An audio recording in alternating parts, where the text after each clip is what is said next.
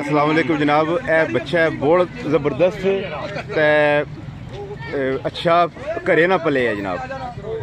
ਤੇ ਜਨਾਬ ਜਿਹੜਾ ਬੰਦਾ ਪਹਿਲਾ ਜਾ 1 ਲੱਖ 60 ਹਜ਼ਾਰ ਨਾ ਜਨਾਬ। ਇਸ ਤੋਂ ਥੱਲੇ ਕੋਈ ਇਹ ਘਟਨੇ ਨਹੀਂ 1 ਲੱਖ 60 ਹਜ਼ਾਰ ਨਾ ਬੱਚਾ ਹੈ। ਜਨਾਬ ਤਾਂ ਬਹੁਤ ਜ਼ਬਰਦਸਤ ਚੀਜ਼ ਹੈ ਤੁਸੀਂ ਚੈੱਕ ਕਰ ਸਕਦੇ ਹੋ। ਸਹੀ ਕੁਰਬਾਨੀ ਵੈਸੇ ਰੈਡੀ ਹੈ ਜੀ।